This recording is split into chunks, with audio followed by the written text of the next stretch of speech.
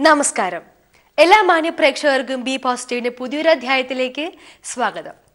ഇന്ന് കൊല്ലവർഷം ആയിരത്തി ഒരുന്നൂറ്റി തൊണ്ണൂറ്റി മൂന്ന് നവംബർ ഇരുപത്തിനാല് വൃശ്ചികം ഒൻപത് വെള്ളിയാഴ്ച. സാധാരണ ഇപ്പോൾ ഒരു ഉപകരണം വാങ്ങുമ്പോഴേക്കും നമുക്ക് ആ ഒരു സാധനം നമുക്ക് പൊരുത്തപ്പെട്ടില്ലെങ്കിൽ നമുക്ക് ആ ഒരു സംഭവം നമുക്ക് ഇഷ്ടപ്പെട്ടില്ലെങ്കിൽ മിക്കവാറും നമ്മളത് മാറ്റി വാങ്ങാറാണ് പതിവ്.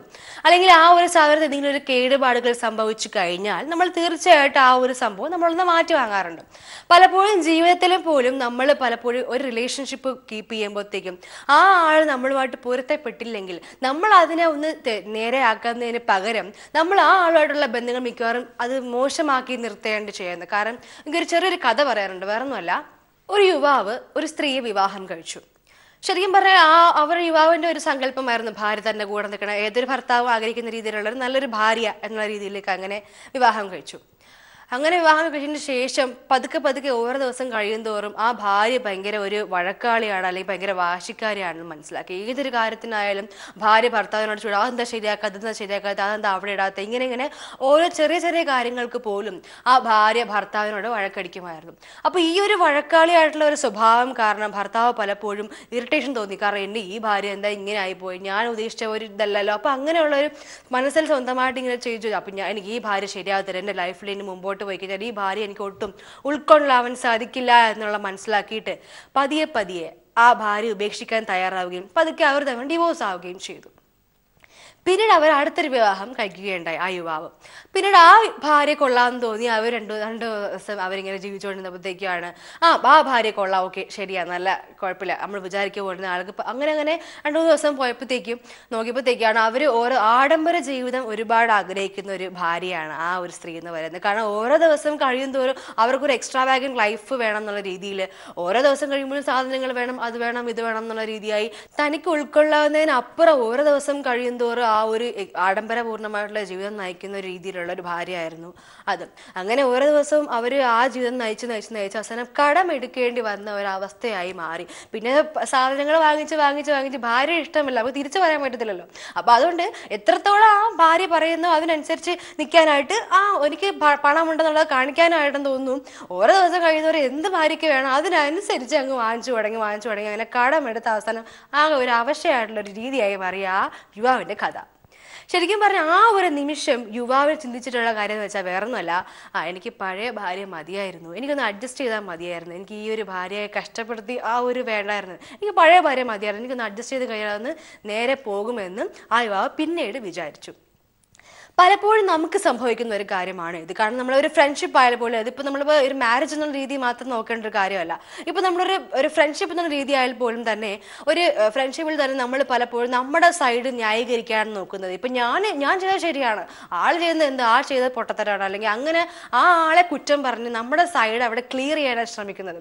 പലപ്പോഴും എല്ലാ റിലേഷൻഷിപ്പിലും ഒരു പോറൽ വരിക എന്ന് പറയുന്ന ഇത്തരത്തിലുള്ള ചെറിയ കാര്യങ്ങൾ തന്നെയായിരിക്കും. എന്തായാലും ബി പോസിറ്റീവുള്ള പ്രേക്ഷകർ ഒരിക്കലും ഇങ്ങനെ ആവരുത് എന്നുള്ള കാര്യമാണ് എനിക്ക് പറയാനുള്ളത്. കാരണം ഒരു ഒരു നിമിഷത്തെ ആ ഒരു ഒരു കുറ്റം കാരണം ഒരു വലിയ റിലേഷൻഷിപ്പ് നമ്മൾ അവിടെ ബ്ലോക്ക് ചെയ്യരുത് അല്ലെങ്കിൽ അവിടെ മുറിവേൽപ്പിക്കരുതെന്ന് മാത്രം എനിക്ക് പറയാനുണ്ട്. എന്തായാലും നമ്മുടെ ഫസ്റ്റ് സെഗ്മെന്റിലോട്ട് പോയ സമയമായിരിക്കും. നമുക്ക് കാണാം. സംഗീത സാന്ദ്രമായ ശുഭസംഗീതം.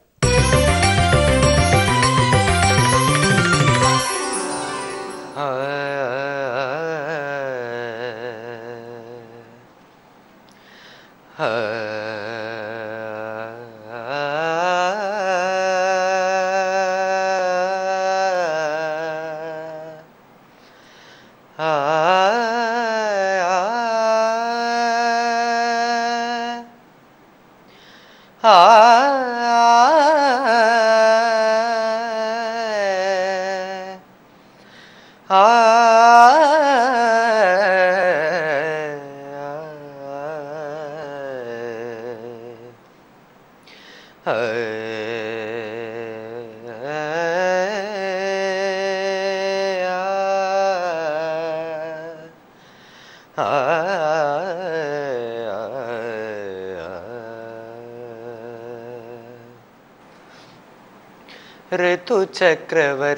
നീ നിമ്മണിമാറിലെ നവരാഗമാലിക ആരു തീർത്തു?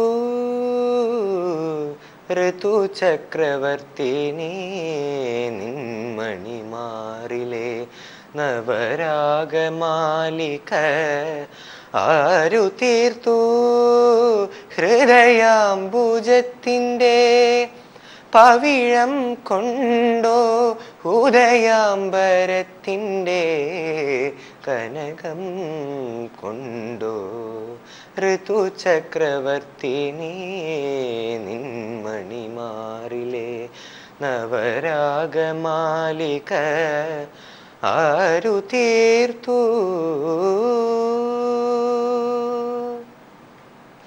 ശ്രാവണസുന്ദരി നിൻ കങ്കണമല്ലയോ? കാനന പുഷ്പങ്ങളായി മിന്നി. ശ്രാവണസുന്ദരി നിൻ കങ്കണമല്ലയോ? കാനന പുഷ്പങ്ങളായി മിന്നി. ദേവതേ നിൻ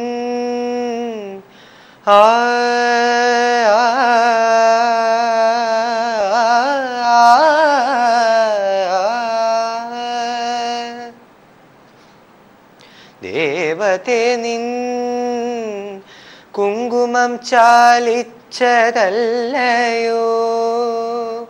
മാധവമാസത്തിൻ സൂര്യോദയം കട്ടുപൂവിന്മേട്ടിലും ഉണരുമീ ഗാനം നാട്ടുമാവിൻ കൊമ്പിലല്ലേ ഊയലിൻ താളം. ഋതുചക്രവർത്തിനി നിന്മണിമാറിലെ.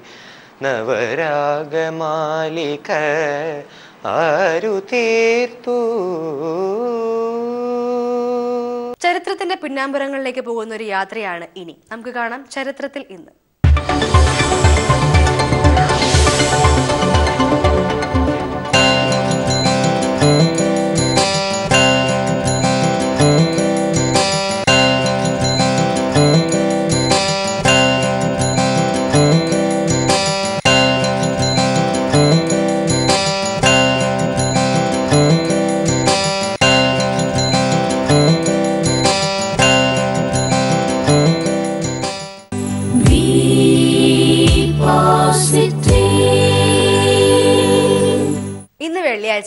നമുക്ക് എന്തായാലും ഒരു ഗസ്റ്റ് ഉണ്ടായിരിക്കും. ഇന്ന് നമ്മുടെ ഗസ്റ്റ് എന്ന് പറയുന്നത് നമ്മുടെ ഹിന്ദി അധ്യാപകനും വിവർത്തകനുമായിട്ടുള്ള പ്രൊഫസർ ഡി തങ്കപ്പൻ നായരാണ്. അപ്പൊ എന്തായാലും അദ്ദേഹത്തിന്റെ വിശേഷങ്ങൾ നമുക്ക് കാണാം. നമുക്ക് കാണാം എനിക്ക് പറയാനുള്ളത്.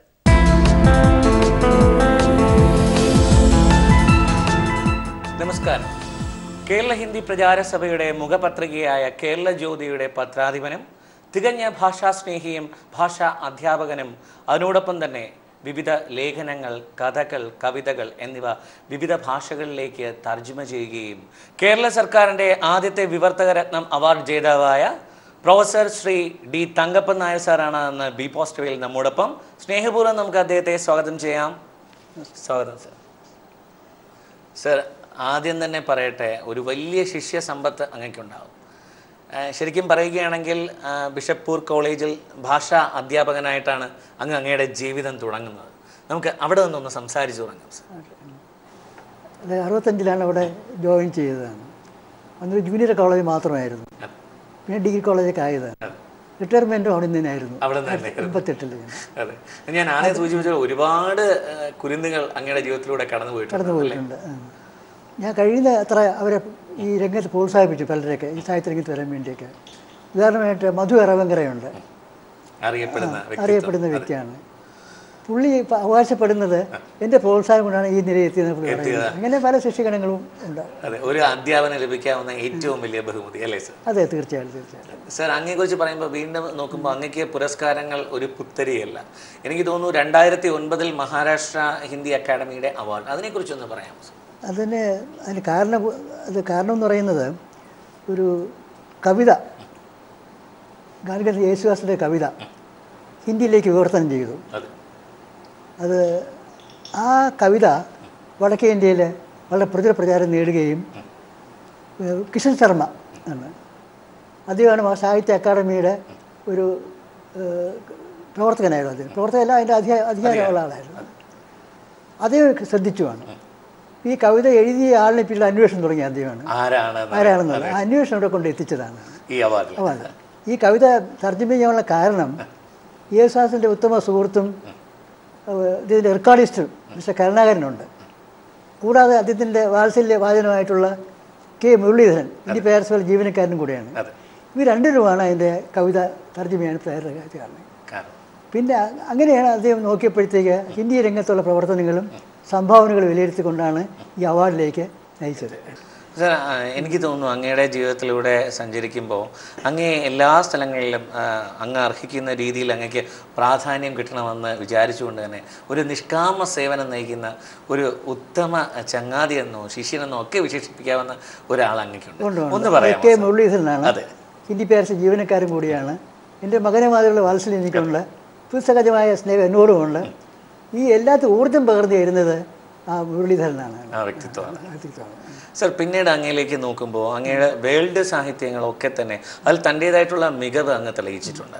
പലരുടെയും പ്രമുഖരുടെ പലതും അങ്ങ് വിവർത്തനം ചെയ്തിട്ടുണ്ട്. ആ സാഹിത്യങ്ങളെ പറയാമോ സർ? ഡി സി ബുക്സ് വിശ്വ സാഹിത്യമാലയെ പറ്റി ആ ഒന്നാമത്തെ പുസ്തകം എന്റെ പുസ്തകം തുടങ്ങുകയാണ് ചെയ്യുന്നത് കൂനം വെച്ചാണ് തുടങ്ങുന്നതാണ് അപ്പം ഡി സി ബുക്സിൽ ഇതിനു മുമ്പ് തന്നെ അന്ന് ബുക്ക് ക്ലബ് ആയ കാലത്താണ് ഡി സി ബുക്സ് അധികം വികസിച്ചിട്ടില്ല ബുക്ക് ആയിരുന്നപ്പോഴത്തേക്കും പത്ത് പതിനഞ്ച് രൂപയ്ക്ക് മൂന്ന് പുസ്തകം കിട്ടുമായിരുന്നു. അന്ന് ഈ twenty thousand leagues under the sea എന്നുള്ള നോവലുണ്ട്. ജൂലി വെർണയിലാണ് ആഴിക്കടിയിൽ ആഴിക്കടിയിൽ എന്നുള്ള പേരിൽ ബുക്ക് ക്ലബിൽ കൂടെ പുസ്തകം ഇറങ്ങി എന്നുള്ളതാണ്. അത് ഡി സിയായിട്ട് ആയിട്ട് ബന്ധമുണ്ട് അതിനുള്ള അപ്പം ഇപ്പം ഞാൻ അറിയപ്പെടുന്ന ആളൊന്നും അല്ല വലിയ പ്രഗത്ഭനും അല്ലെങ്കിൽ പോലും ഡി സിക്കുള്ള ഒരു പ്രത്യേക മേന്മ എന്ന് പറയുന്നത് കഴിവിന് എനിക്ക് വ്യക്തിയല്ല കഴിവിന്. കഴിവിനെ അപ്പോൾ ഈ ആഴിക്കടി എന്നുള്ള പുസ്തകം വായിക്കാൻ കൊടുത്തത് ഇടമുറുകാണ്. ഇടമുറുക അവിടെ അന്തേവാസിയുടെ കൈ ഡി സിയുടെ അന്തേവാസിയാണ്. അദ്ദേഹം വായിക്കാൻ കൊടുത്തപ്പോൾ അദ്ദേഹം വായിച്ചു ഇഷ്ടപ്പെട്ടു. പബ്ലിഷ് ചെയ്യപ്പോൾ ആണെന്ന് അദ്ദേഹം പറഞ്ഞു. അങ്ങനെയാണ് ആകുന്നത്. അപ്പം ഡി സി ബുക്സിന്റെ വിശ്വാസം തുടങ്ങിയപ്പോഴത്തേക്ക് എത്രയോ വലിയ ആൾക്കാർ മലയാളത്തിലുണ്ടെങ്കിൽ പോലും എന്നെ മുതൽ സാധാരണക്കാരനെ ആ ബുക്ക് ഏൽപ്പിച്ചു. സർജ് ചെയ്യാൻ വേണ്ടിയാണ്. അങ്ങയുടെ എളിമയുള്ള വ്യക്തിത്വമാണ് അങ്ങ് ഇങ്ങനെ പറയുന്നത്. പക്ഷേ പ്രേക്ഷകർക്കും എല്ലാം അറിയാം അങ്ങ് ഒരു വലിയ വ്യക്തിത്വത്തിനുടമയാണ്. തികഞ്ഞ ഭാഷാ സ്നേഹിയാണ് ഭാഷാ പണ്ഡിതനാണ് പിന്നീട് അങ്ങോട്ട് ലീസ്റ്റ് ബുക്സിൽ കൂടെ മറ്റേ കുറ്റവും ശിക്ഷയും പിന്നെ പിന്നെ ലാസ്റ്റ് മോഹിക്ക് ഇംഗ്ലീഷ് നോവലാണ് ത്രില്ലർ നോവലാണ് അതിന്റെ അവസാനത്തെ മോഹിക എന്ന് പറഞ്ഞുകൊണ്ട് ആയി പിന്നെ അതുപോലെ തന്നെ ക്രൈം പണിഷ്മെന്റിന്റെ ഇങ്ങനെയുള്ള നോവലുകളൊക്കെ തർജമ ചെയ്യുന്നുണ്ട് ഡി പിന്നെ അവസാനമായിട്ടാണെങ്കിൽ എമ്മിന്റെ മൂന്ന് പുസ്തകങ്ങൾ ആ ബുക്കിന്റെ പേര് ഈ apprentice to a humanity master yogi's autobiography എന്നുള്ളതാണ് ഇംഗ്ലീഷ് ടൈറ്റിലാണ് അതിന്റെ വിവർത്തനമാണ് ഏഹ്, യുഗു സമക്ഷം ഒരു ഹിമാലയൻ യോഗിയുടെ ആത്മകഥ തുടർന്ന് അങ്ങോട്ട് വേറെ രണ്ട് ബുക്ക് കൂടെ ചെയ്തു എമ്മിന്റെ തന്നെ. അതിന്റെ English title jewel in the lotus deeper aspects of Hinduism എന്നാണ് അതിന്റെ ടൈറ്റിലാണ് അത് ഹൃദയകമ്പത്തിൽ രത്നം എന്നുള്ള രത്നം സനാതനധർമ്മത്തിന്റെ ശാസ്ത്ര മൂല്യം എന്നുള്ള പേരിൽ മലയാളത്തിൽ തർജമ ചെയ്തു. തർജമ ചെയ്തു. പിന്നെ മറ്റൊരു മൂന്നാമത്തെ കൃതി എന്ന് പറയുന്നത് വിഷ്ണു ഓഫ് ദ ഋഷീസ് എന്നുള്ള പുസ്തകമാണ്. ഋഷീസ് സഭ ദിവ്യർസ് എന്നുള്ള പേരിലാണ് മലയാളത്തിൽ വരുന്നത്. ഈ മൂന്ന് പുസ്തകങ്ങളും തർജമയുള്ള ഒരു ഭാഗ്യം എനിക്ക് ഉണ്ടായിരുന്നുള്ളതാണ് ശരിക്കും അങ്ങയിലൂടെ ശ്രോതാക്കൾക്കും അതിനുള്ള അത് വായിക്കാനുള്ള ഒരു ഭാഗ്യം ഞങ്ങൾക്കും ലഭിച്ചു എന്ന് പറയുന്നതായിരിക്കും കൂടുതൽ അനുയോജ്യം സാർ. എന്തോ ദൈവ നിയമമാണെന്ന് തോന്നുന്നുണ്ട്. അല്ലാതെ എന്നെ തേടി പിടിക്കേണ്ട കാര്യമില്ലല്ലോ സാർ സർ ഇങ്ങനെ വിവർത്തനം ചെയ്യുമ്പോൾ അങ്ങക്ക് എപ്രകാരമുള്ള ആത്മസംതൃപ്തിയാണ് കിട്ടുന്നത്? ഒന്ന് പറയാം. വിവർത്തനം ഞാൻ ചെയ്യുമ്പോഴത്തേക്ക് സമർപ്പണ ബുദ്ധിയോടുകൂടി ഒരു ഒരു പരകായ പ്രവേശനമാണല്ലോ. തീർച്ചയായും. ആ കൃതി ഉള്ള ഉള്ളിലേക്ക് കയറി ചെന്നിട്ട് അതിനെ മലയാള ഏത് കൃതിയിലേക്ക് ചെയ്യപ്പെടുന്നുണ്ടോ രണ്ട് ഭാഷ സ്വതഭാഷ ലക്ഷ്യഭാഷയുണ്ട്. ലക്ഷ്യഭാഷയിലേക്ക് ചെയ്യുമ്പോഴത്തേക്ക് സ്വതഭാഷയുടെ ആത്മാവ് കണ്ടെത്താൻ ശ്രമിക്കുന്നുണ്ട്. എളിയ തോതിൽ സമ സമം ചെയ്യുന്നു. തപസ്യാണ് വാസ്തവത്തിൽ ആണ് തീർച്ചയായും. ചെയ്യുന്നത്. സർ അതുപോലെ തന്നെ അങ്ങിപ്പോൾ ഏറ്റവും പുതുതായിട്ട് എഴുതിക്കൊണ്ടിരിക്കുന്ന ഒരു ഇതുണ്ട് നിങ്ങളുടെ പ്രേക്ഷകരുടെ ഇതിലേക്ക് കേട്ടോ ഒന്ന് പറയാമോ? മാനസ. ഏറ്റവും പുതുതെന്ന് പറയുന്നത് മഞ്ജു വെള്ളായണി. കേരള കോമതിയിലെ മഞ്ജു വെള്ളായണിയുടെ മാനസ കൈലാസം എന്നുള്ള യാത്ര വിവരണമാണ് പത്ത് മുന്നൂറ്റി ഉണ്ട് അത്.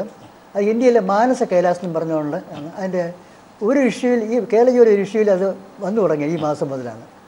ജൂലൈ മാസം മുതൽ അത് അതുപോലെ തന്നെ അങ്ങക്ക് ഒരുപാട് പേര് നേടിത്തുന്ന ഒന്നാണ് സതീഷ് ബാബു സാറിന്റെ പേരമരം ഹിന്ദിയിലേക്ക്. ആ ഒരു ഇതൊന്ന് പറയാമോ അത് ആ കഥകൾ വായിക്കാനിടയായാണ് അപ്പോൾ ഒരു കഥ തർജമ ചെയ്യണമെന്ന് വിചാരിച്ചതാണ്. ഇഷ്ടപ്പെട്ട ഓരോ ചെയ്തുകൊണ്ടിരുന്നതാണ് അങ്ങനെ അദ്ദേഹം ഇപ്പം പുസ്തകം പബ്ലിഷ് ചെയ്യുക എന്നുള്ളത് പ്രോബ്ലമാണ്. അതെ അതെ. അപ്പം ഒടുവിൽ പബ്ലിഷ് കിട്ടുകയും പബ്ലിഷ് ചെയ്യുകയും ചെയ്തു. അത് അതിന്റെ അതിന്റെ പുസ്തകം റിലീസായിട്ടില്ല പക്ഷേ പുസ്തകം ഇറങ്ങി കഴിഞ്ഞു ആൾക്കാർ വായിച്ചു തുടങ്ങിയിട്ടുണ്ട്. വലിയ നല്ല കമൻസ് അതിനെപ്പറ്റി ഒക്കെ വരുന്നുണ്ടെന്നുള്ളത് വരുന്നുണ്ട്.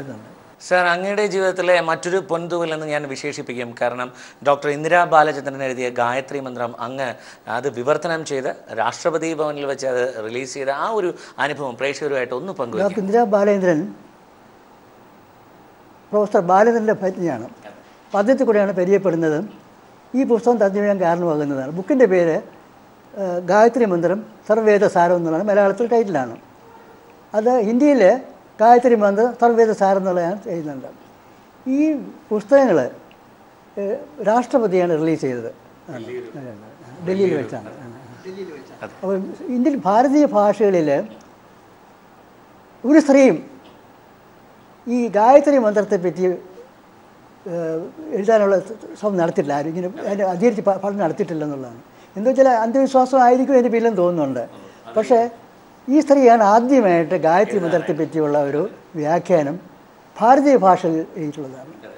അപ്പൊ നല്ലൊരു പുസ്തകം വായിക്കുകയും അത് തർജമ തർജമ ചെയ്തു. അകൃഷ്ണ ഇതിന്റെ പ്രേരണയും ഉണ്ടായിരുന്നു. പ്രൊഫസർ ബാല ബാലേന്ദ്രന്റെ പ്രേരണയും ഉണ്ടായിരുന്നു ഇതിന്റെ സർ അങ്ങയുടെ പാണ്ഡിത്യവും കഴിവും വെച്ച് തുറന്നൊരു ചോദ്യം ചോദിക്കട്ടെ. എനിക്ക് തോന്നുന്നു അങ്ങ് സ്വന്തമായിട്ട് മൂലകൃതികൾ രചിക്കാതെ വിവർത്തന രംഗങ്ങളിലേക്ക് വിവർത്തക മേഖലയിലേക്ക് കടന്നു ചെന്നു. അത് എന്തുകൊണ്ടാണ് സാർ? ഒന്ന് പങ്കുവെക്കാം ഒരു അത് പറയും വേറെ സംഭവത്തെ പറ്റി ഓർമ്മിപ്പിക്കേണ്ടി വരും. തീർച്ചയായും ഉദാഹരണമായിട്ട് ഞാൻ ഒരു സ്റ്റാച്യൂവിൽ വെച്ച് നിൽക്കുമ്പോഴത്തേക്ക് അതിൽ കടന്നു പോകുമ്പോൾ അവിടെ ഗുപ്തനാർ സാറും ഡി സി കിഴക്കമുറിയും അദ്ദേഹം രണ്ടു സംസാരിച്ച് നിൽക്കുകയായിരുന്നു. അപ്പോൾ അതിന്റെ ഒരു കടന്ന് ബഹുമാനം ഒരാൾ അടുത്ത് ചെന്നപ്പോഴത്തേക്ക് ഗുപ്തദാസ് എന്നെ പ്രൊമോട്ട് ചെയ്യാൻ വേണ്ടി ഒരു തമാശയ്ക്ക് പറഞ്ഞു ഇനി തങ്കപ്പന്നാരെ ഒരു ഒറിജിനൽ വർക്കൊക്കെ എഴുതാൻ കേട്ടോ. അപ്പോൾ ആ കാലത്ത് രണ്ട് മൂന്ന് പേർക്ക് വന്നു കഴിഞ്ഞു ഡി സി മെക്സിക്കോട് വിശ്വ സാഹിത്യ തർജമകളൊക്കെയാണ് പക്ഷെ അതിന്റെ ചിന്ത കുഴപ്പമുണ്ടാക്കിയാണ്. വീട്ടിൽ എനിക്ക് ഉറക്കം വരുന്നില്ല ആലോചിച്ചപ്പോഴത്തേക്കാണ്. ഞാൻ ആലോചിച്ചപ്പോഴത്തേക്ക് എന്നെ കൊണ്ട് നല്ലൊരു കൃതി ചമയ്ക്കാൻ ഒക്കില്ല. അഞ്ചാം കടയോ പത്താം കടയോ ഇരുപതാം കടയോ ഒക്കെ ഒക്കെ എന്തായാലും ഒന്നാം കട രണ്ടാം കട മൂന്നാം കട എന്നെ കൊണ്ട് ഒക്കില്ലെന്ന് എനിക്ക് തന്നെ അറിയാണ് അപ്പോൾ ഞാൻ വിചാരിച്ചു മഹാന്മാരായ എഴുത്തുകാരുണ്ട്. അപ്പോൾ അവരുടെ മുകളിൽ താഴെ ഒരു പേരോട് വരുമല്ലോ. അതുകൊണ്ട് വിവർത്തനമാണ്. അങ്ങനെ ഓർത്ത് നിൽക്കുകയായിരുന്നു മനസ്സിലായി സർ അങ്ങനെ പറയുമ്പോൾ എനിക്ക് തോന്നുന്നു അത് വിവർത്തക മേഖലയിൽ അങ്ങ് തിളങ്ങുന്ന ഒരു നക്ഷത്രമാണ്. പക്ഷേ അങ്ങയുടെ ഈ ഒരു ചിന്താഗതി കൊണ്ട് നമുക്ക് വരും തലമുറയ്ക്ക് ഒരു നല്ലൊരു രചയിതാവിനെ നഷ്ടപ്പെട്ടു. ഈ ഒരു ചിന്താഗതി കൊണ്ട് അത് നഷ്ടപ്പെട്ടു എന്ന് തോന്നുന്നു ഇല്ല ഇല്ല ഇല്ല. അങ്ങയുടെ ശിഷ്യ സമ്പത്തും അതല്ല പ്രതിഭകൾ വന്നുകൊണ്ടിരിക്കുകയാണ് പക്ഷെ വിവർത്തകരെ കിട്ടാനുള്ള പ്രയാസമാണ്. അതുകൊണ്ടാണ്. അത് വിവർത്തന വിവർത്തനം ഏതെങ്കിലും മറ്റൊരു ഭാഷയിലേക്ക് അറിയുള്ള ആൾക്കാരാണ്. തീർച്ചയായിട്ടും. അവിടെയും ഒരു ഭാഷ സ്നേഹിയെ ഒരു ഭാഷ അധ്യാപകർ മാതൃഭാഷ സേവിക്കുകയാണ്. മറ്റൊരു ഭാഷ തർജമ ചെയ്യും മാതൃഭാഷയെ സേവിക്കുന്നത്. മാതൃഭാഷയെ തർജമ ചെയ്യുമ്പോഴും മാതൃഭാഷയെ സേവിക്കുന്നത്. സേവിക്കുന്നു. സർ മാതൃഭാഷയോടാണോ അങ്ങേക്ക് കൂടുതൽ ഇഷ്ടം. രാഷ്ട്രഭാഷയോടാണോ അങ്ങേക്ക് കൂടുതൽ താല്പര്യം? ഏറ്റവും സ്നേഹം മാതൃഭാഷയോട്. മാതൃഭാഷ. പിന്നെ രാഷ്ട്രഭാഷയോട്. വിശ്വഭാഷയായ ഇംഗ്ലീഷിനോടും സ്നേഹമുണ്ട്. തികഞ്ഞ ഒറ്റ വാക്കി പറയാം ഒരു ഭാഷാ സ്നേഹി. ഭാഷാ സ്നേഹി എന്ന് വേണമെങ്കിൽ പറഞ്ഞോളൂ വേണമെങ്കിലാണ്. തീർച്ചയായിട്ടും സർ. അങ്ങക്ക് കിട്ടിയ പുരസ്കാരങ്ങളിലൂടെ കടന്നു പോകുമ്പോൾ ഗാന്ധി സ്മാരക പുരസ്കാരം അങ്ങനെ ഒട്ടനവധി പുരസ്കാരങ്ങളുണ്ട്. ഈ പുരസ്കാരങ്ങൾ ലഭിക്കുമ്പോൾ അങ്ങക്ക് എന്താണ് തോന്നുന്നത്? ഈ പ്രവർത്തനം സഫലമായെന്ന് തോന്നില്ല പ്രവർത്തനം സഫലമായെന്ന് അല്ലാതെ ഒരു അഹന്തയെ അഹങ്കാരം തോന്നാറില്ല ഒരിക്കലുമാണ്. കൂടുതൽ വിനയാനിതനാണ് കരുതുന്നത് തീർച്ചയായിട്ടും. ഓരോ പുരസ്കാരങ്ങളും അങ്ങയുടെ വിനയത്തെ കൂടുതൽ ഉണർത്തുന്നു തീർ- തീർച്ചയായും തീർച്ചയായിട്ടും. മലയാളത്തിലേക്ക് സാർ മലയാള കാവ്യങ്ങളിലേക്ക് അങ്ങ് ഇപ്പോൾ പറഞ്ഞ പോലെ ഒന്ന് പറയാം അത് ആദ്യമായിട്ട് പി രവികുമാർ സാറിന്റെ കേരളയുമുള്ള എഡിറ്ററായിരുന്നു അദ്ദേഹം. ഇതിന്റെ നച്ചിക്കേതസ് എന്നുള്ള കാവ്യം. അത് നച്ചിക്കേത എന്നുള്ള പേരിൽ ഇന്ത്യയിൽ വന്നു അതിന് അവാർഡ് കിട്ടുകയും ചെയ്തു. അതെ. മാത്രമല്ല ആ കാവ്യത്തെപ്പറ്റി ധാരാളം പേര് നിരൂപരും വടക്കിൽ നിരൂപന്മാരാണ് അവരിൽ പ്രധാനപ്പെട്ട നിരൂപൻ എന്ന് പറയുന്നത് ഈ പ്രിയങ്ക പത്ര പത്രികയുണ്ട് അതിന്റെ എഡിറ്റർ. രാംകുമാർ വർമ്മ ഡോക്ടർ സുരേന്ദ്രവർമ്മ അതുപോലെ ഡോക്ടർ മോഹൻലാൽ ബാബുൽക്കർ അതുപോലെ- അതുപോലെ മലയാളത്തിലെ ഗ- ഡോക്ടർ മധു വാസുദേവൻ തീർച്ചയായിട്ടും നീല തുടങ്ങിയവരെല്ലാം അതിന് നിരൂപണം ചെയ്ത ആൾക്കാരും മറ്റുമൊക്കെയാണ്. അത് മാത്രമല്ല കേരളത്തിൽ വലിയ മഹാപണ്ഡിതനായ ഡോക്ടർ ആർസു. ഡോക്ടർ ആർസു ഒക്കെ അതിനെപ്പറ്റി വളരെ പൂഴ്ത്തി പിന്നെ വി രവികുമാറിന്റെ വേറൊരു കാവ്യമുണ്ട്. അത് എം ഡി രാമദാസ് എന്നുള്ള കാവ്യമുണ്ട്. അതിന്റെ തർജമ വന്നിട്ടുണ്ട്. അതിനൊരു ഒരു പുരസ്കാരം ലഭിച്ചിട്ടുണ്ട്. അത് ഭാരത പത്രികയുടെ പ്രഥമ വിവർത്തന പുരസ്കാരം അത് കിട്ടി. രണ്ടായിരത്തി പതിനഞ്ചിലാണ് രണ്ടായിരത്തി പതിനാലാണെന്ന് തോന്നുന്നു. അതുപോലെ ആരണ്യകം അത് ഒരിക്കലും പറയാതിരിക്കാൻ നമുക്ക് സാധിക്കില്ല. അതിനെ കുറിച്ച് ഒന്ന് അരണ്യം എന്നുള്ളതാണ് ഹിന്ദി നോവലാണ്. ഉമാം ഷോഷിയുടെ നോവലാണ്. അത് ശരിക്കും പറഞ്ഞു കഴിഞ്ഞാൽ ഇന്ത്യയുടെയും ടിബറ്റിന്റെയൊക്കെ ബോർഡർ ആയിട്ടുള്ള ഭാഗമാണ്.